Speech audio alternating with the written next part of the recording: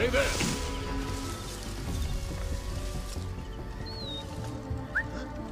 Damn son, what are you playing at?